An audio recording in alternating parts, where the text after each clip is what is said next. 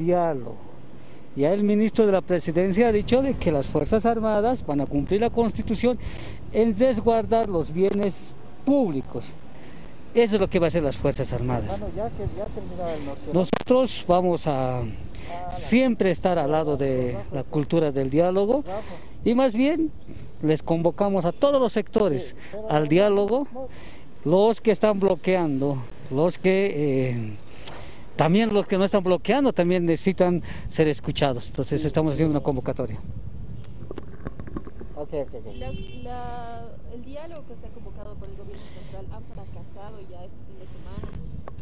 ¿Cuál sería el siguiente paso que tomaría el gobierno, ya que estamos viendo escasez no solamente de medicamentos y de oxígeno, sino de elementos de la canasta familiar?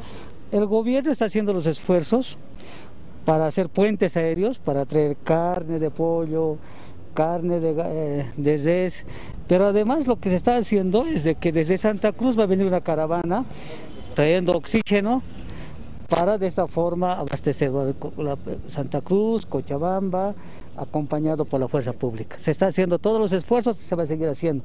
Pero independientemente de que yo no veo en un diálogo fracaso, el diálogo siempre tiene que triunfar.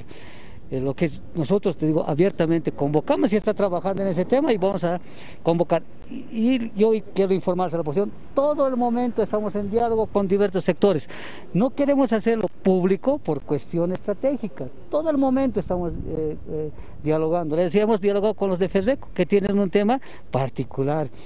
Hemos dialogado así por diferentes sectores que sí, hermanos, necesitan atenderlos, estamos así.